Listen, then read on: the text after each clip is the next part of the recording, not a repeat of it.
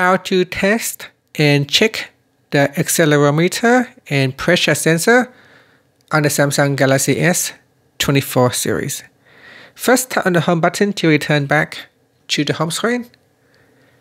Then on the home screen, swipe up to go into the app screen. In here, tap on the Samsung folder. Then tap on members. Now make sure you are back at the members homepage. Next, we go down and tap on diagnostics. Then tap on phone diagnostics.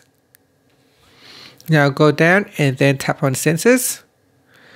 Now tap on the test button or the test again button and the phone will go ahead and test the accelerometer and the pressure sensors. So just wait for the phone to come back with a status after the check. It should show a normal status. If it is faulty, it will show otherwise.